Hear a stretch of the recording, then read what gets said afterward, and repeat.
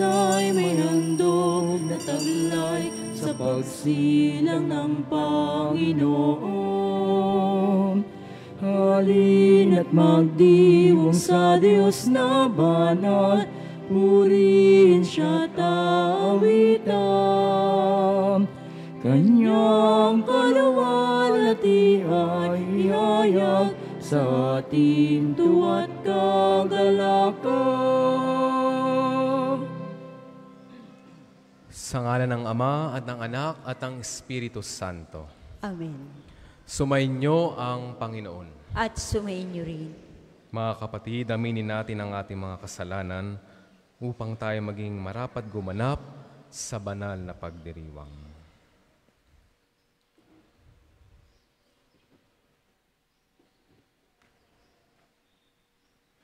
Inaamin ko sa makapangyarihang Diyos at sa inyo mga kapatid, na lubhang nagkasala, sa isip, sa salita at sa gawa, at sa aking pagkukulang. Kaya isinasamo ko sa mahal na Birheng Maria, sa lahat ng mga anghel at mga banal, at sa inyo mga kapatid, na ako'y panalangin sa Panginoong ating Diyos. Kawaan tayo ng makapangyarihang Diyos, patawarin tayo sa ating mga kasalanan, at patnubayan tayo sa buhay na walang hanggan. Amen.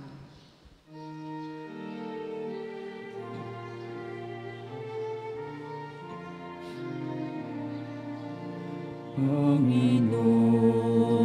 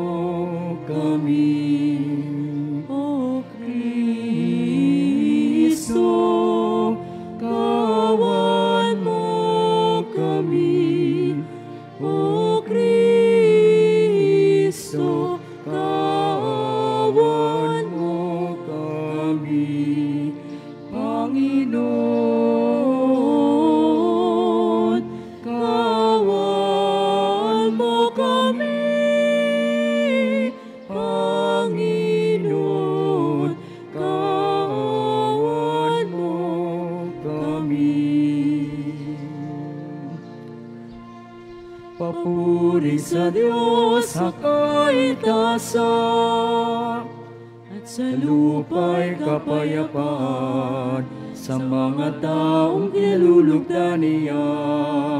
Pinupuri ka namin, dinarangal ka namin, sinasamba ka namin, pinagbubunyi ka namin, pinagsasalamatan ka namin. Dahil sa dakila mong angking kapurihan, Panginoong Diyos, Ari ng langit, Diyos amang makapangyarihan sa lahat. Panginoong Heso Kristo bugtong na anak,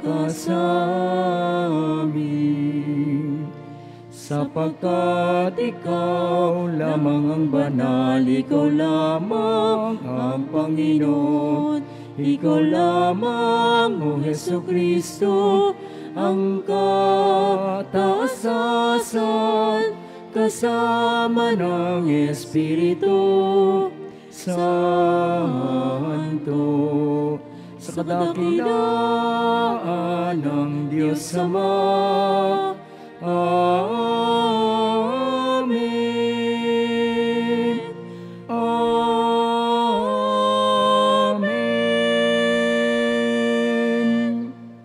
Manalangin tayo.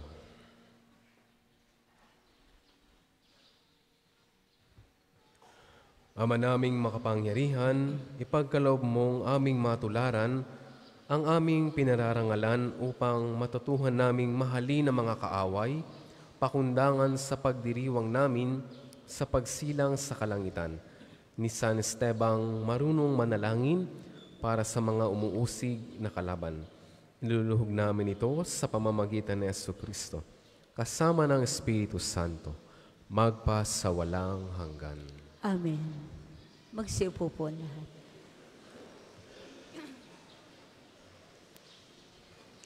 Pagbasa mula sa mga gawa ng mga apostol. Noong mga araw na iyon, pinagpala ng Diyos sa Esteban at pinuspos ng kapangyarihan. Ano pat gumawa siya ng maraming himala at kababalaghan sa harapan ng madla. Nakipagtalo sa kanya ang ilang kasapi sa sinagoga ng mga pinalaya na binubuo ng mga Hudeyong taga-Sirene, taga-Alejandria, taga-Cilicia at taga-Asya. Ngunit wala silang magawa sa karunungan ni Esteban na kaloob ng Espiritu.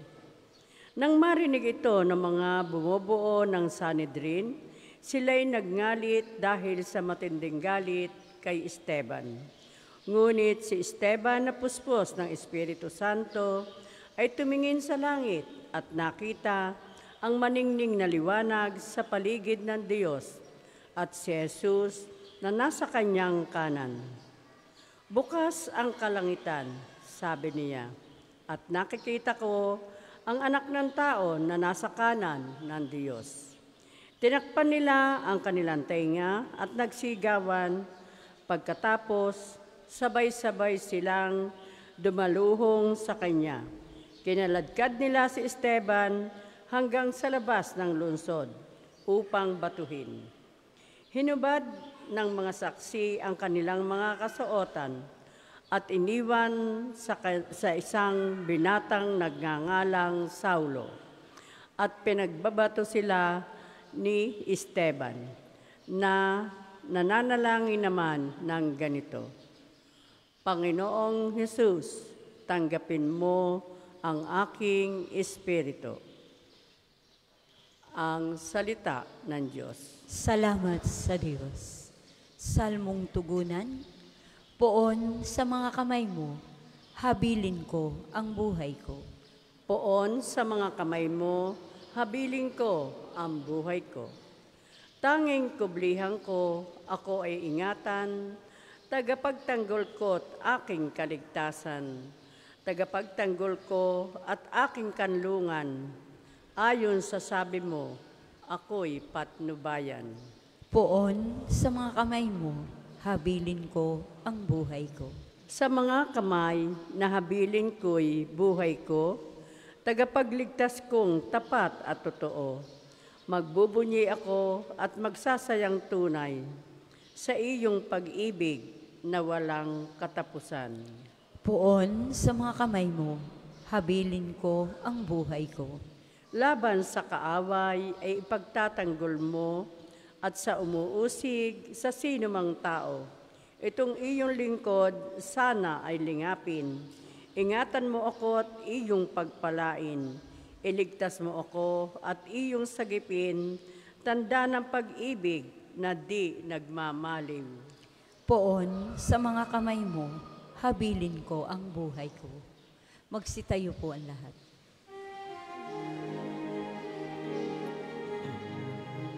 Alleluia,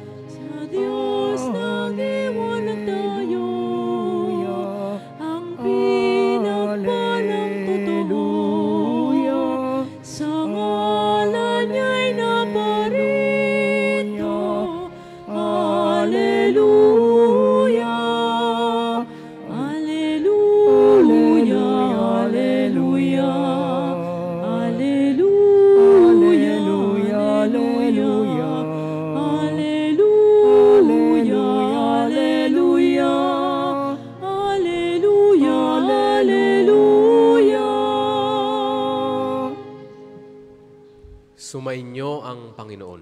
At sumayin niyo rin. Ang mabuting balita ng Panginoon ayon kay San Mateo. Papuri sa iyo, O Panginoon. Noong panahong iyon, sinabi ni Jesus sa kanyang mga alagad, Mag-ingat kayo, sapagkat may mga taong magkakanulo sa inyo sa mga hukuman, at hahagupitin nila kayo sa mga sinagoga. Dahil sa akin, ihaharap kayo sa mga gobernador at mga hari, at magpapatotoo kayo sa harapan nila at ng mga hentil. Kapag nalilitis na kayo, huwag kayong mabalisa tungkol sa sasabihin ninyo o kung paano ninyo sasabihin.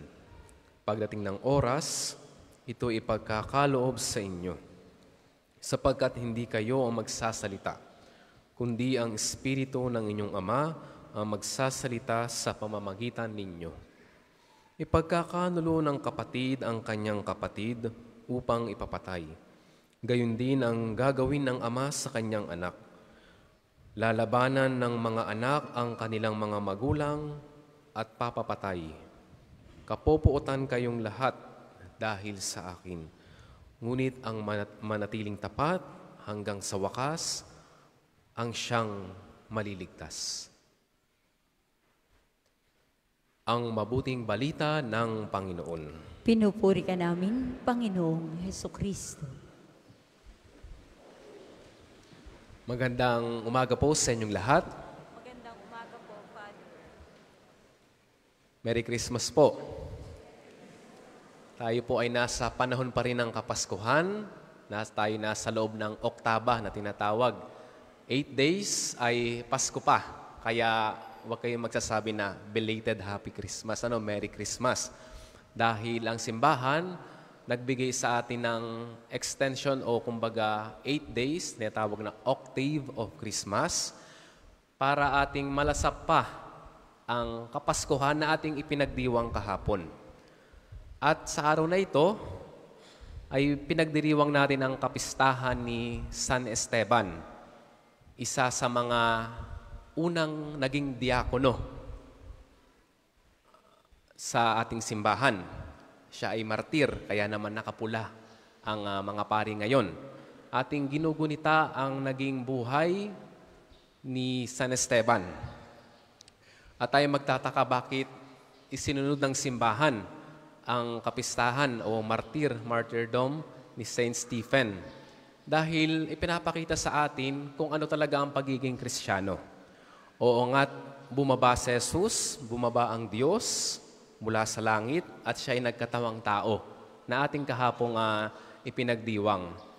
At dito makikita natin na ang pagliligtas ni Jesus ay hindi lamang basta siya ay dumating at tayo ay sumunod na sa Kanya. Oo nga, tinatawag tayong maging follower, maging mga disipulo. Ngunit sa kabilang banda, tinatawag din tayong maging saksi, maging witness. Sa wikang Griego, ang ginamit na salita ay martus. Doon natin nakuha ang salitang martir, martyrdom. At yan po ang pagiging kristyano talaga natin mga minamahal. Hindi po sapat na tayo ay sumusunod lamang sa ating Panginoon. Dapat tayo ay maging saksi din niya sa paanong paraan sa pamamagitan ng pagpapalaganap ng mabuting balita. Ibig sabihin, ang katotohanan ay dapat laging ipamalita. At yan ang nangyari kay San Esteban sa kanyang buhay. Siya ay tumutulong, siya ay nagsaserve bilang isang diakono, ngunit sa kabilang banda, siya ay nagpapahayag din at sa kanyang pagpapahayag, maraming hindi maniniwala sa kanya. At yan ang pagiging kristyano natin mga minamahal. Tayo nga ay naligtas, tayo ay gumagawa ng kabutihan at nangangaral, ngunit expect natin na sa ating buhay, maraming tutuligsa sa atin. Maraming magpa-persecute dahil maraming hindi tatanggap ng mabuting balita talaga. Yaan ang ating panawagan bilang mga Kristiyano.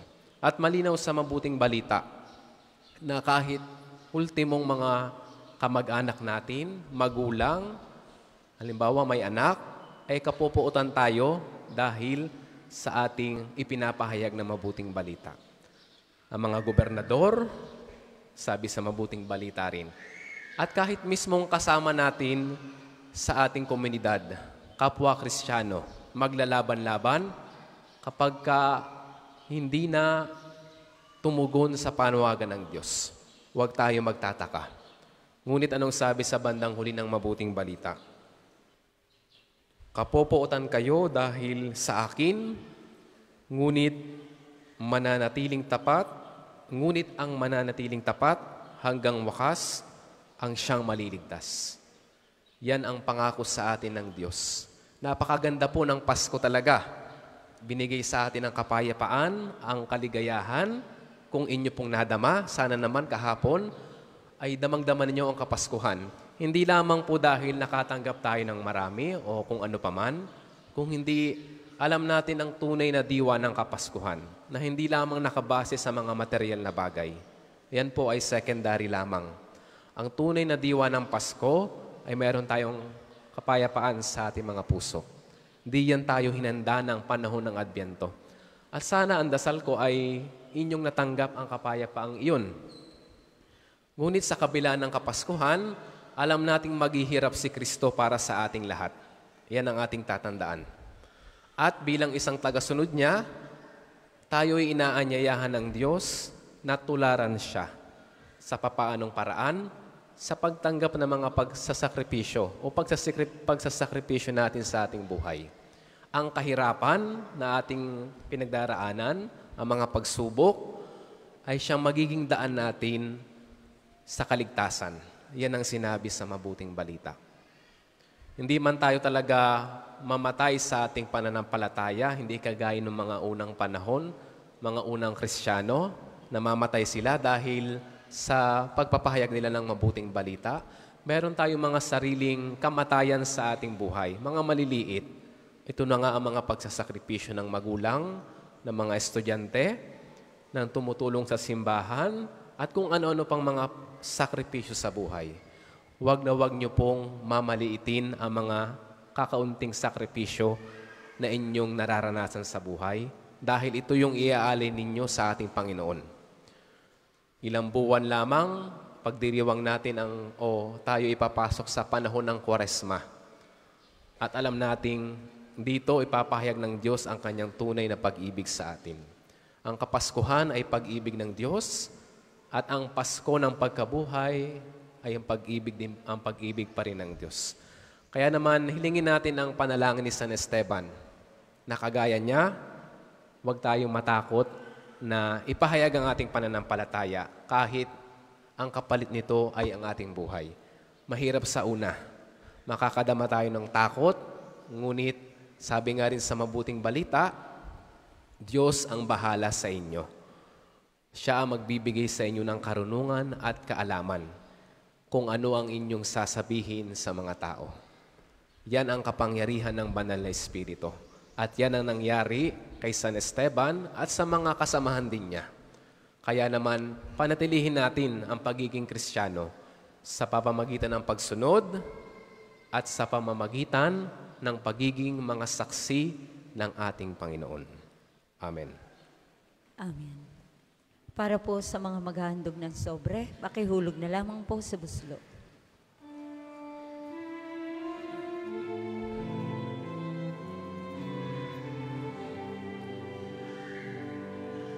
Sang sanggol,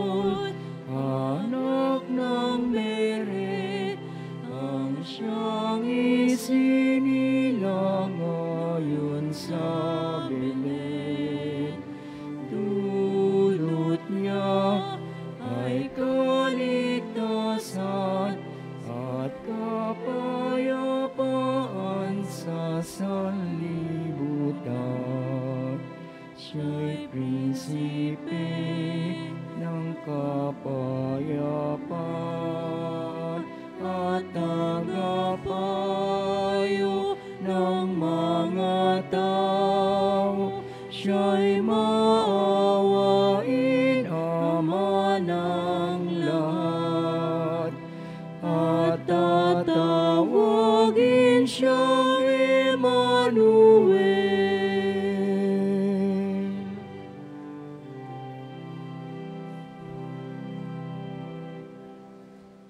Magsitayo po ang lahat.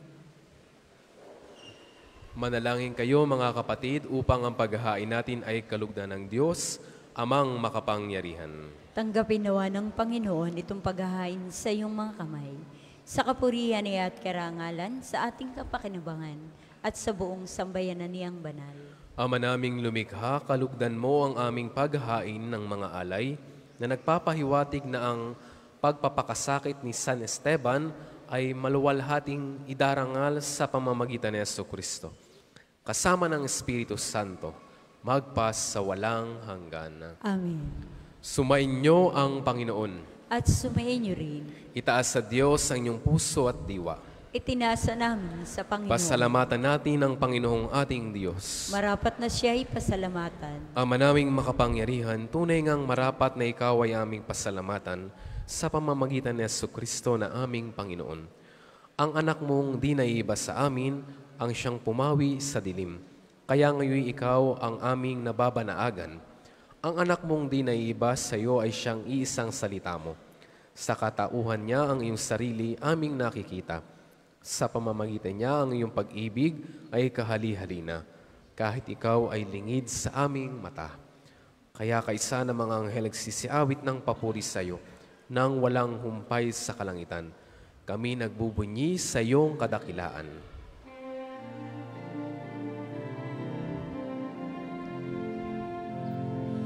Santo, Santo, Santo, ang Panginoong Diyos na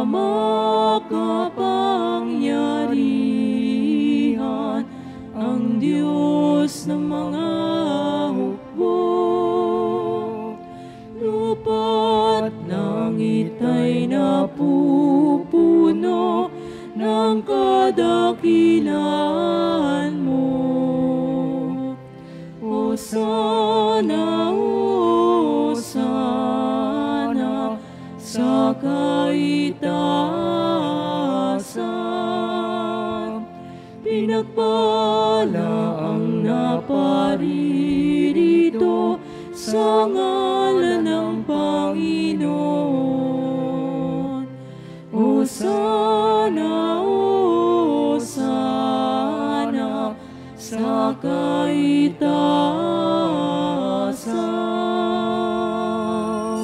Kung hindi kayang lumuhod, ay manatiling nakatayo ng may paggalang.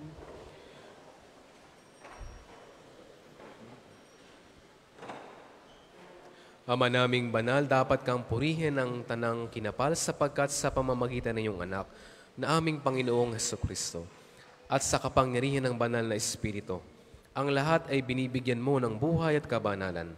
Walang sawa mong tinitipo ng iyong sambaynan upang mula sa pagsikat hanggang paglubog ng araw ay maihandog ang malinis na alay para sambahin ang iyong ngalan.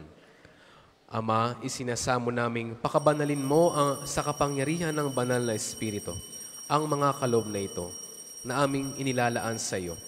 Ito naway maging katawan at dugo ng iyong anak at aming Panginoong Heso Kristo, na nag-utos si pagdiwang ang misteryong ito. Noong gabing ipag- ipagkanulo siya, hinawakan niya ang tinapay. Pinasalamatan kanya. Pinaghati-hati niya iyon. Iniabot sa kanyang mga alagad at sinabi, Tanggapin ninyong lahat ito at kanin.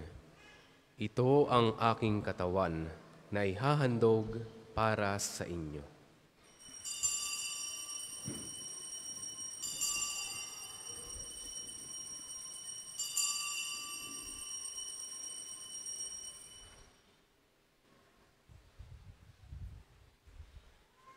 Gayon din naman ang matapos ang hapunan. Hinawakan niya ang kalis, muli kanyang pinasalamatan. Iniabot niya ang kalis sa kanyang mga alagad at sinabi, Tanggapin ninyong lahat ito at inumin. Ito ang kalis ng aking dugo, ng bago at walang hanggang tipan. Ang aking dugo na ibubuhos para sa inyo at para sa lahat, sa ikapagpapatawad ng mga kasalanan. Gawin ninyo ito sa pag-alala sa akin.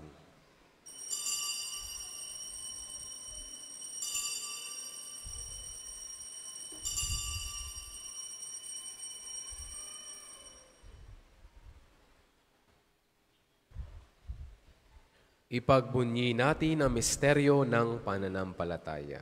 Si Kristo'y namatay, si Kristo ay nabuhay, si Kristo'y babalik sa wakas ng panahon. Ama, ginugunita namin ang pagkamatay ng iyong anak na sa amin nagligtas. Gayon din ang kanyang muling pagkabuhay at pag-akyat sa kalangitan.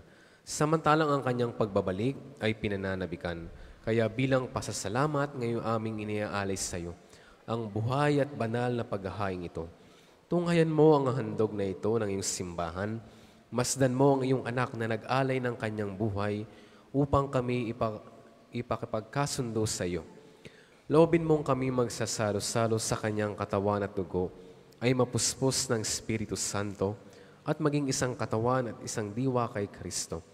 Kami naway gawin niyang handog na habang panahong nakatalaga sa iyo.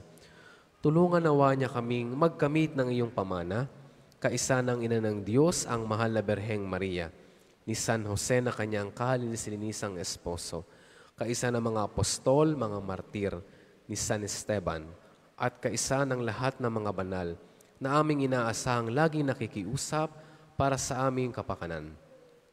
Ama, ang handog na ito ay aming pakikipagkasundo sa iyo, ay magbunga nawa ng kapayapaan at kaligtasan para sa buong daigdig. Patatagin mo sa pananampalataya at pag-ibig ang iyong simbahang naglalakbay sa lupa, kasama ng iyong lingkod na si Papa Francisco, aming Obispo Gilbert, ng tanang mga obispo at buong kaparian at ng iyong piniling sambayanan. Dinggin mo ang aming mga kahilingan ng iyong angkan na ngayon tinitipon mo sa iyong harapan. Amang mauin, kupkupin mo at pag-isahin ang lahat ng iyong mga anak sa bawat panig at sulok ng daigdig. Kawaan mo't patuloyin sa iyong kaharian ang mga kapatid naming yumao at ang lahat ng lumisan na sa mundong ito na nagtataglay ng pag-ibig sa iyo. Kami umaasang makararating sa iyong piling at sama-samang magtatamasa ng iyong kaningningang walang maliw sapagkat aming masisilayan ang iyong kagandahan sa pamamagitan ng aming Panginoong Kristo na siyang pinagdaraanan ng bawat kaloob mo sa aming kabutihan. Sa pamamagitan ni Kristo, kasama niya sa Kanya, ang lahat ng parangal at papuri ay sa iyo. Diyos samang makapangyarihan, kasama ng Espiritu Santo, magpa sa walang hanggan. Amen.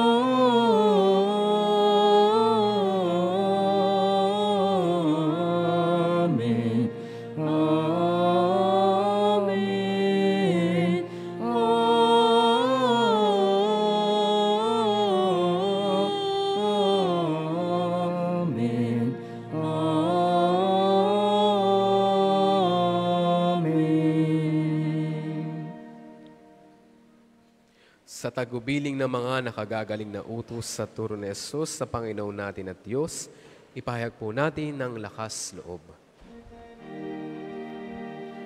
Ama namin, sumasalangit ka. Sambahin ang ngalan mo. Mapasa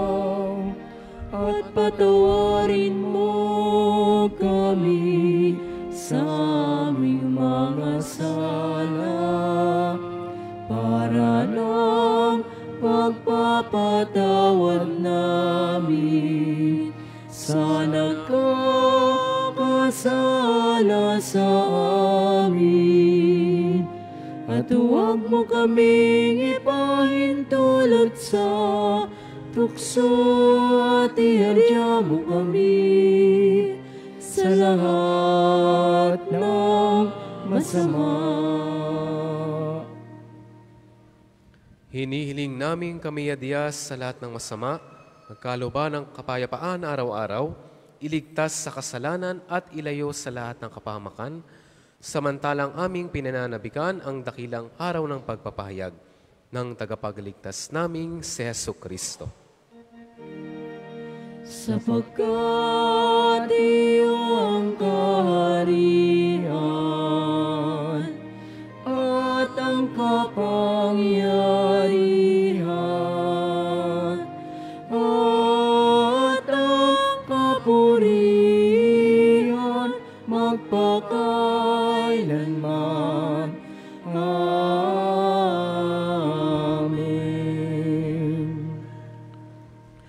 Panginoong Heso Kristo, sinabi mo sa iyong mga apostol, Kapayapaan ang iniiwan ko sa inyo, ang aking kapayapaan ang ibinibigay ko sa inyo. Tunghayan mo ang aming pananampalataya at huwag ang aming pagkakasala. Pagkalooban mo kami ng kapayapaan at pagkakaisa, ayon sa iyong kalooban, kasama ng Espiritu Santo, magpas sa walang hanggan. Amen. Ang kapayapaan ng Panginoon ay laging sumainyo. At sumayin niyo rin. Magbigayan kayo ng kapayapaan sa isa't isa. Peace be with you. Kordero ng Diyos, sa nag-aalis ng mga kasalanan ng sanlibutan, maawa ka sa amin. Kordero ng Diyos, na nag-aalis sa mga kasalanan ng sanlibutan, maawa ka sa amin. Kordero ng Diyos, na nag-aalis sa mga kasalanan ng sanlibutan, ipagkaloob mo sa amin ang kapayapaan. Kung hindi kayang lumuhod, ay manatiling nakatayo ng may paggalang.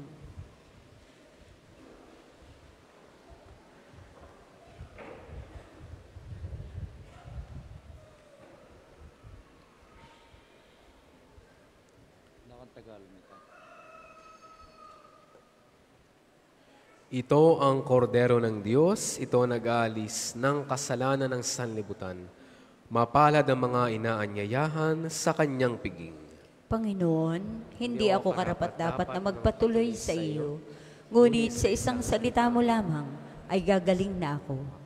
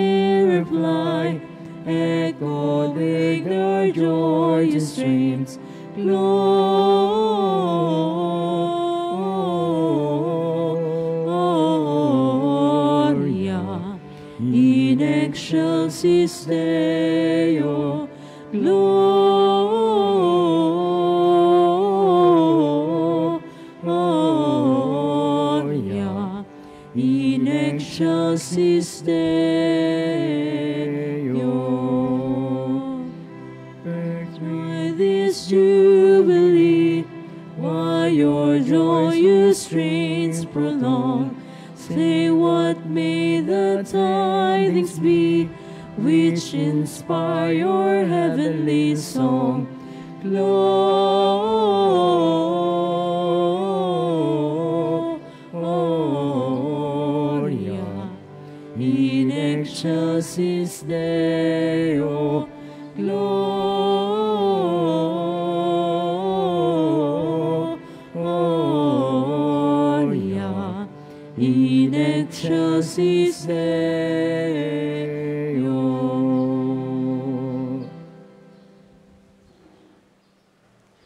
Ang isasagawang second collection ay ginagamit sa patuloy na pagpapaunlad ng parokya at pambansang dambana ni Santo Padre Pio. Salamat po sa inyong handog.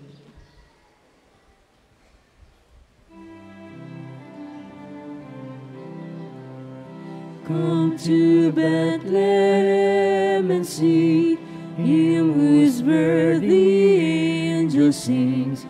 Come adore on bended knee Christ the Lord, the newborn King. Gloria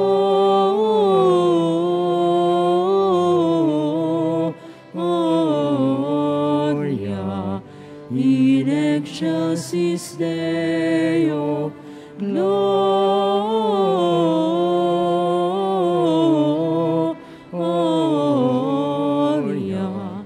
in excelsis Deo.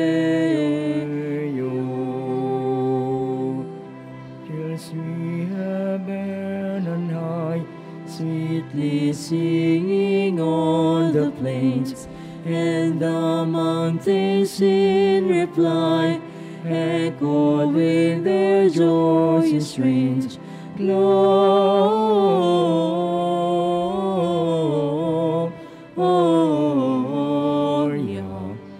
in excelsis Deo.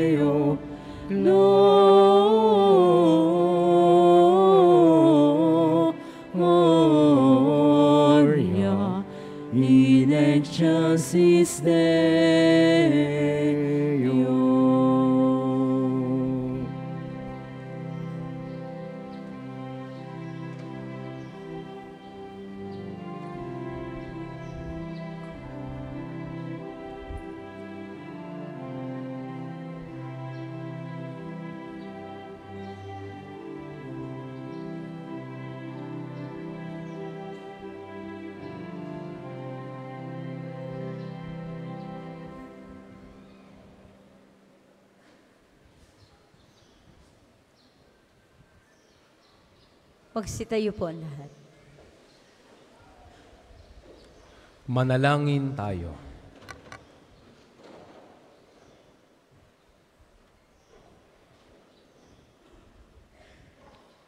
Ama naming lumikha, kalugdan mo ang aming paghahain ng mga alay na nagpapahiwatig na ang pagpapakasakit ni San Esteban ay maluwalhating idarangal sa pamamagitan ni Kristo, kasama ng Espiritu Santo, magpa sa walang hanggan.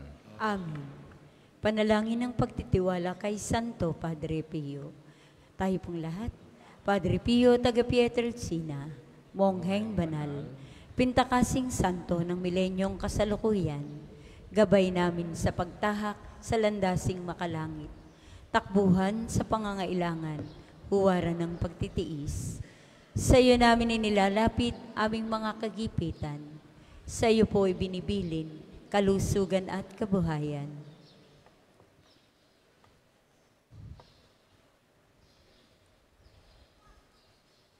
Di man karapat-dapat kami po ay pagbigyan, bendisyonan at basbasan, maging ganap sa buhay. Lumayo nawa kami, umiwas sa kasalanan, lumapit lagi sa Diyos, maging matatag at matibay. Sa mabuting balita ng pagliligtas, turuan mo kami nawa. Sa tuwina ay makinig, magnilay at sumampalataya. Amin pong pakiusap itong mga kahilingan. Puso ay nagsisisi, nagtitikang taimtiman. Di na muling magkasala, sunod lagi sa Diyos amang kaisa ng Espiritu at ni Jesus na tagapamagitan. Amen. Magsiupo po muna para sa ilang palala. Una po sa inyong pagdalaw sa pambansang dambana, mangyaring pakaingatan ng inyong mga personal na gamit. Hangad namin ng isang matiwasay at maayos na pagbisita sa National Shrine. Ikalawa, mga kapiyo, kami po ay humihingi ng inyong kaunting oras at pakikiisa para sa pagsusulat ng inyong mga pangalan at ilang detalye sa ating Pilgrims Information Record Books na makikita sa paligid ng ating mga simbahan.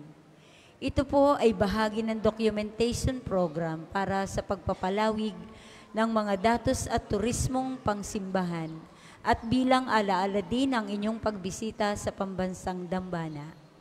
Para po sa ating mga balikbayan, OFW at mga kasama niyong foreigners, doon po kayo magsusulat sa International Pilgrims Record Book.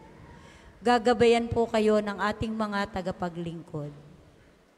Ang susunod pong misa ay sa ganap na kasampu ngayong umaga. Maraming salamat po at mangyaring panatilihin natin ang kalinisan, katahimikan at diwa ng pananalangin sa loob at labas ng ating mga simbahan. Magsitayo na po ang lahat para sa pagbabasbas ng religious articles. Mga kapatid, manalangin tayo sa Diyos amang makapangyarihan upang tayo maging kawangis ni Kristo sa taimtim na pagdalangin sa tulong ng mga larawan at mga dasalan. O Panginoong Diyos, Ikaw ang bukal ng lahat ng pagpapala at biyaya.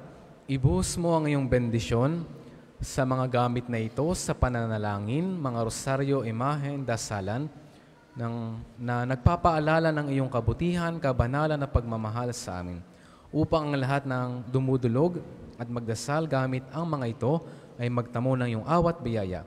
Lobin mong tularan nila ang kabanalan at aral ng Panginoon at ng mga santo, magpas sa walang hanggan. Amen. Ama namin sumasalangit ka, sambahin ang ngalan mo. Mapa sa amin ang kaharian mo. Sundin ang loob mo dito sa lupa para nang sa langit. Bigyan mo kami ngayon ng aming kakanin sa araw-araw.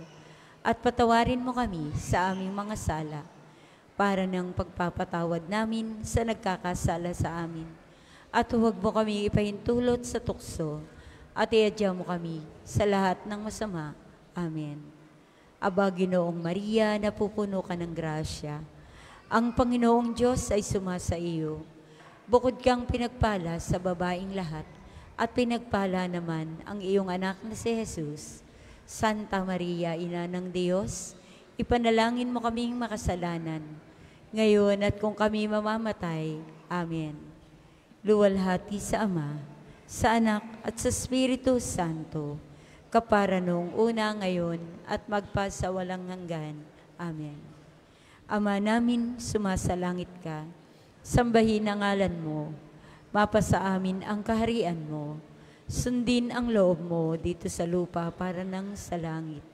Bigyan mo kami ngayon ng aming kakanin sa araw-araw at patawarin mo kami sa aming mga sala para ng pagpapatawad namin sa nagkakasala sa amin. At huwag mo kami ipahintulot sa tukso at iadya mo kami sa lahat ng masama. Amen. Luwalhati sa Ama, sa Anak at sa Espiritu Santo, kapara noong una ngayon at magpasa walang hanggan. Amen.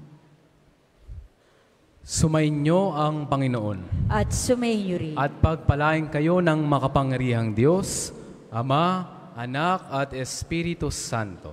Amen. Taglay ninyo sa inyong pagalis ang kapayapaan ni Kristo. Salamat, sa Diyos. sa Diyos.